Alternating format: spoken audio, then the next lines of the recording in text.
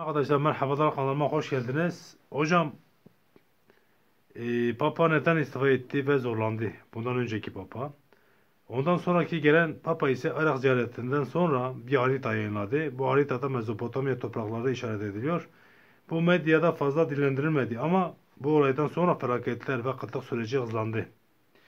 Bu arada 2020 ve 2001 yıl, yılında Türkiye topraklarında devletin bilgisi dahilinde çok ayin yapıldı. Ayinler.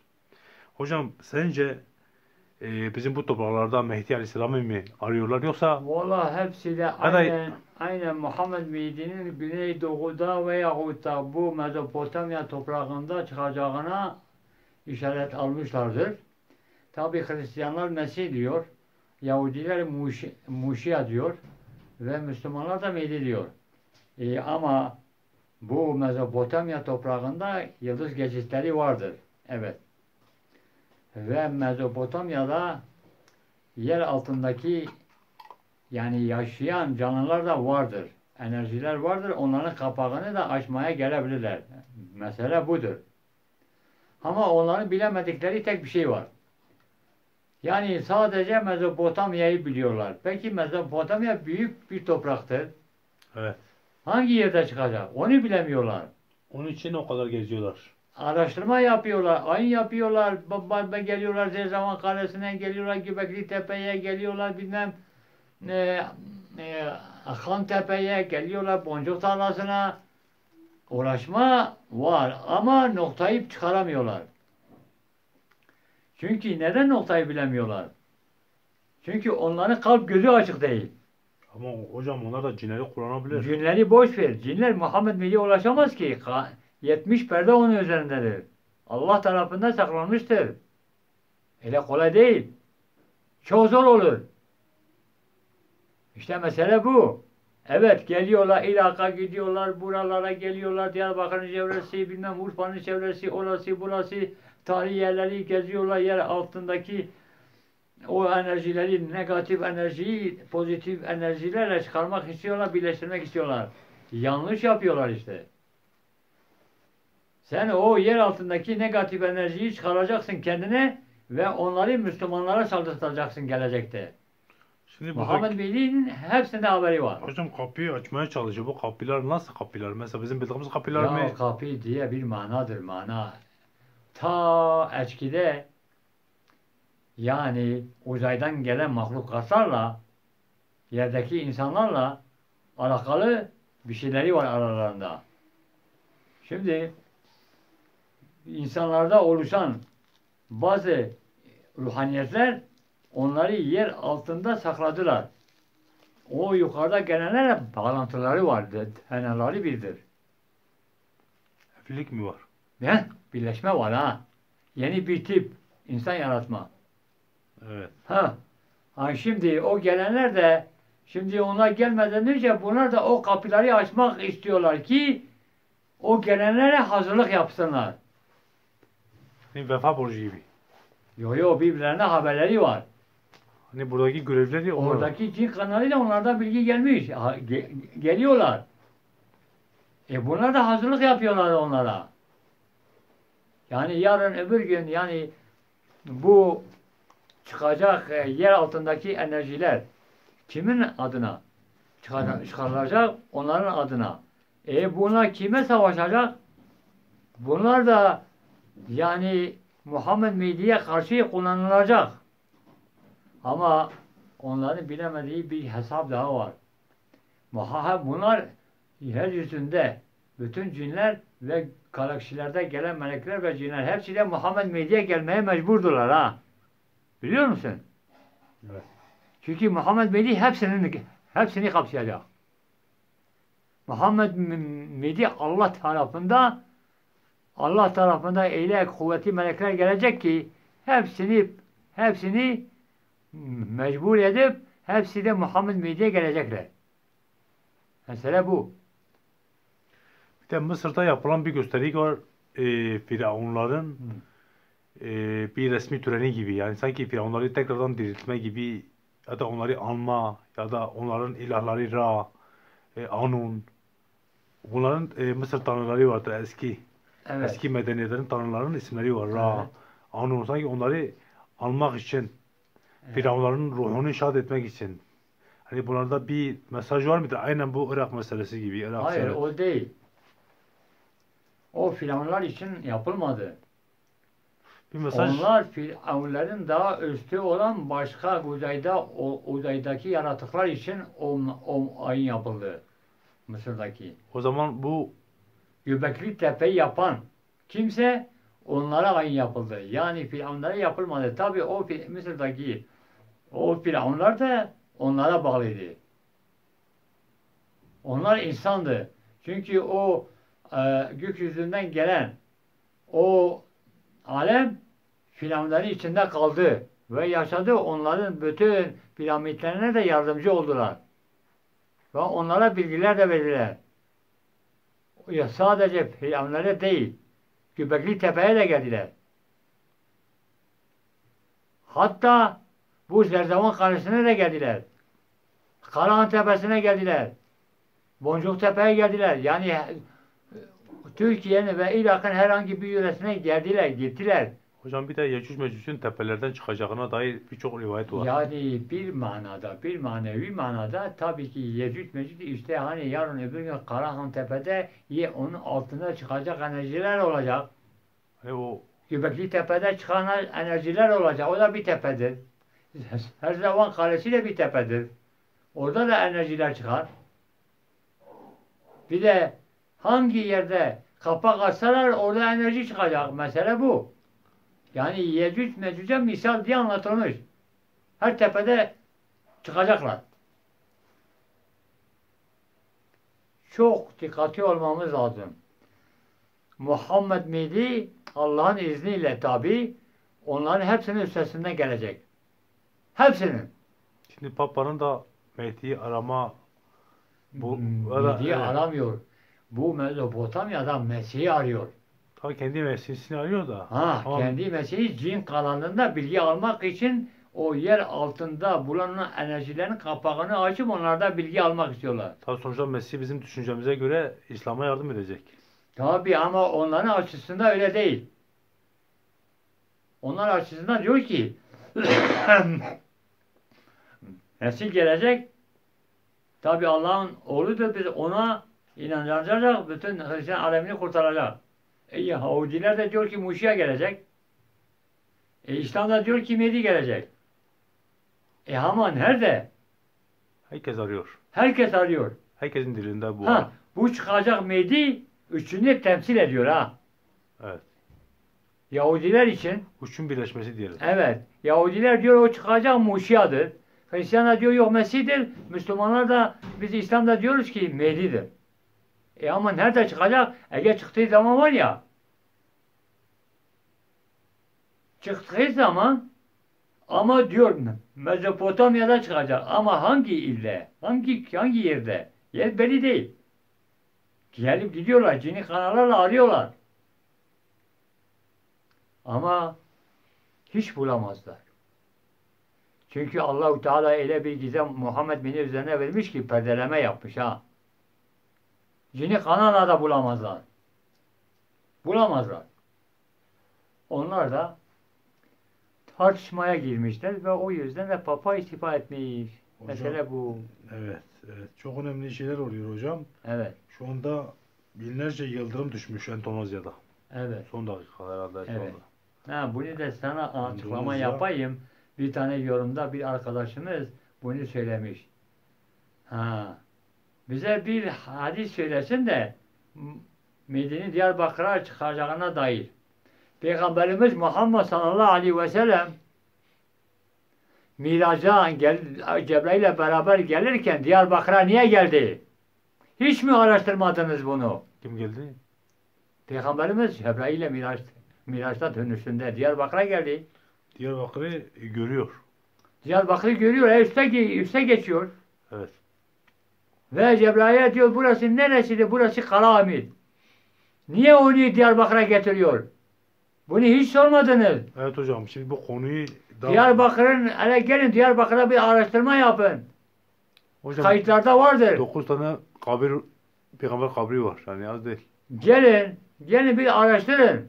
Peygamberimiz Cebrail Diyarbakır'ın üzerine geçerken Peygamberimiz diyor ki Barakallahu fi.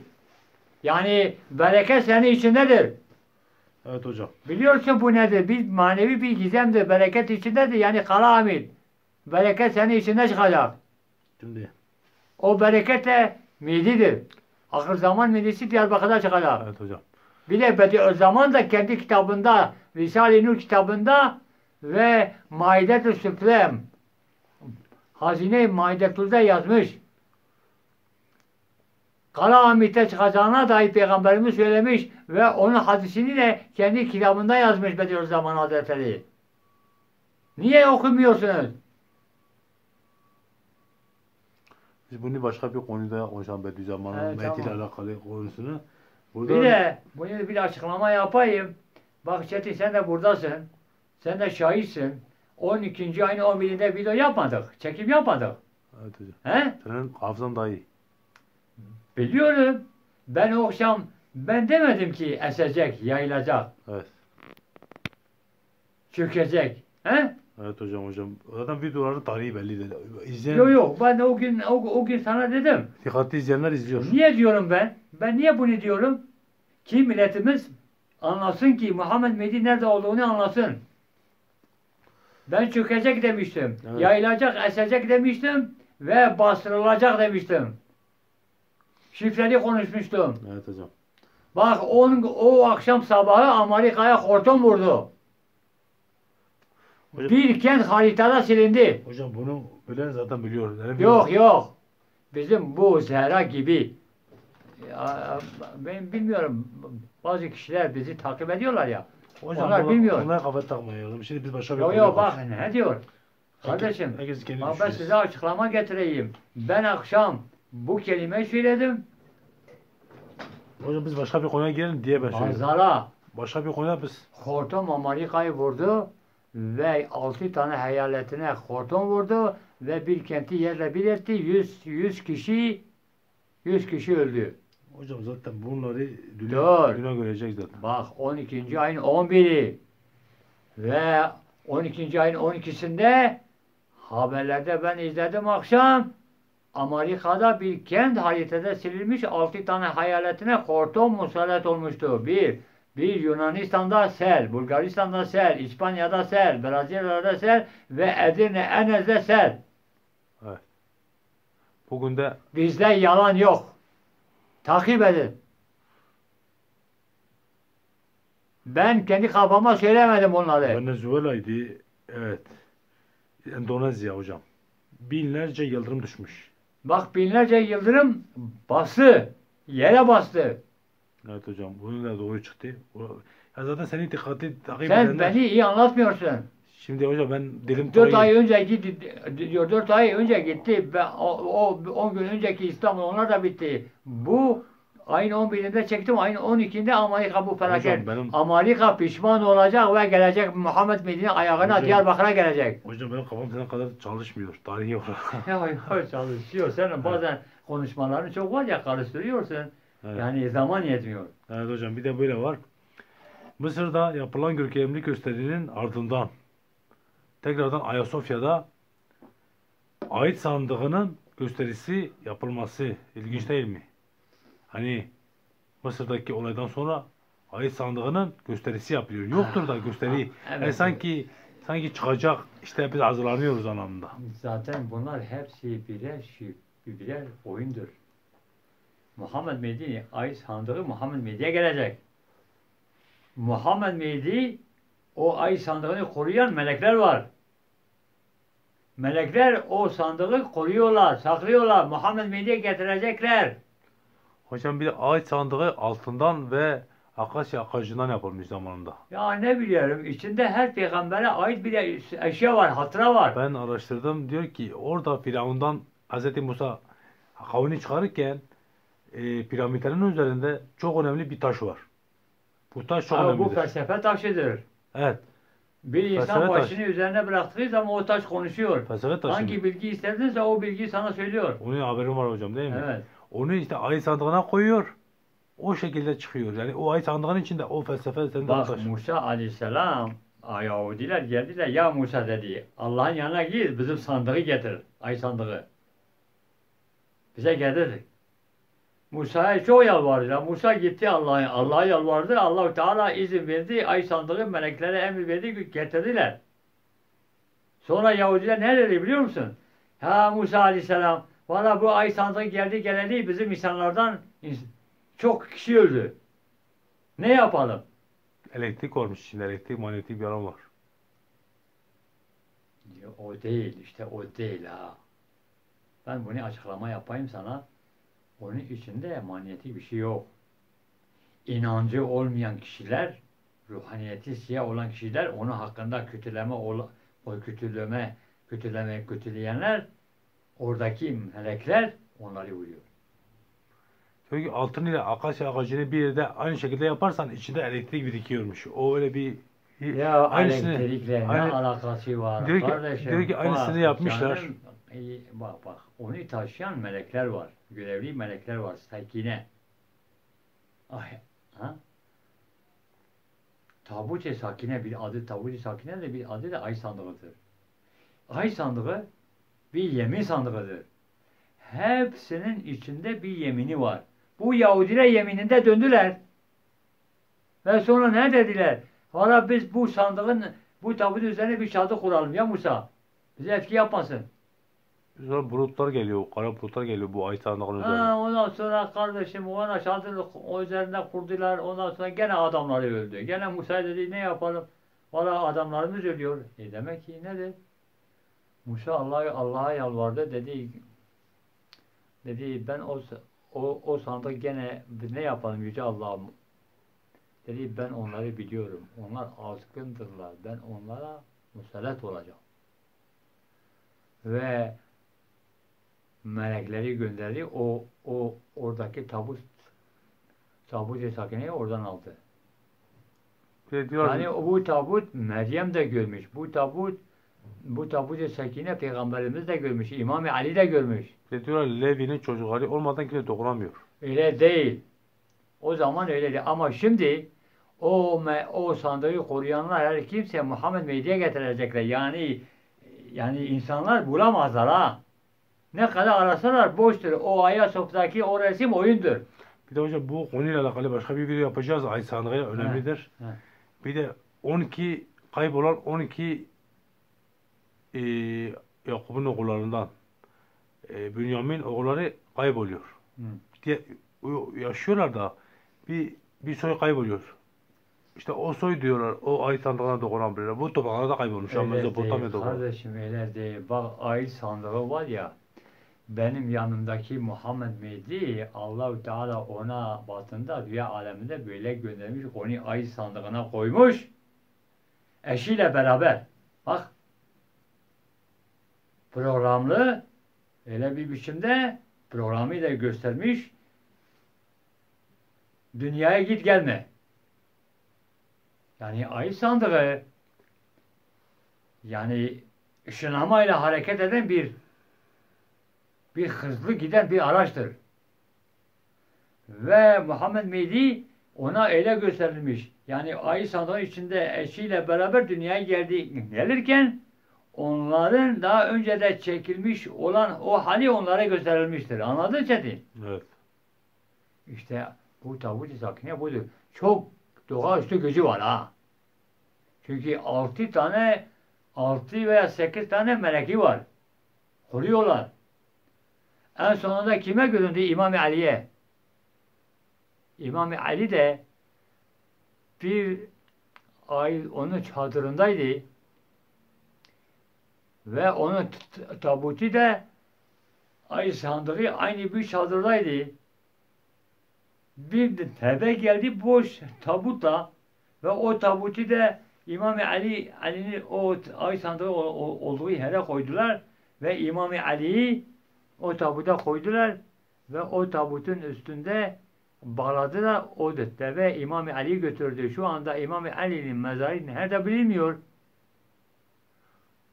Tabut da nerede bilinmiyor. O tabutu sakine de nerede olduğunu bilinmiyor. Hareket ediyor. yani kaybedildi. Şu anda İmam Ali'nin dünyada mezarı nerede kimse bilmiyor. Deveye bağladılar, deve aldı götürdü. Ya bak, o deve nereye götürdü kimse bilmiyor. Ay sandığıyla bağlantılıdır. Tabut-i sakineyle bağlantılıdır. Evet hocam yani hocam. ikisinin de bir yerdedir ha. Bugün bu ay sandığıyla alakalı da konuşalım. Sadece ay Evet, sandığı. tamam. Teşekkürler hocam.